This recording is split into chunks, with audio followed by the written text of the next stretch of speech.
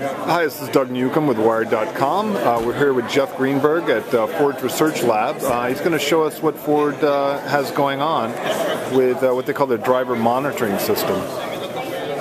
Thanks, Doug. So, driver workload estimation combines a lot of different sensor data about what's happening in the environment, what's happening in traffic, and tries to understand how much stress the driver is under.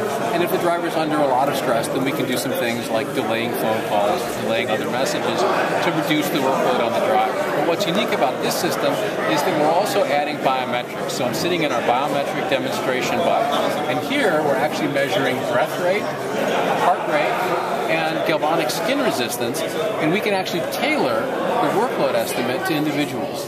And that's done through sensors in the steering wheel? It's done through sensors in the steering wheel. So right now what you're seeing is a research steering wheel, so I have to grip the wheel in a certain spot, but a production wheel, of course, would have these integrated throughout the wheel, and so you could just grip it more normally, and we would know something about your individual response to a situation. And, and the purpose is so that when, when the driver's under certain stresses, for example, when they're merging into a freeway on uh, you can more actively manage the workload as far as like not having calls come in and that sort of thing? Exactly right.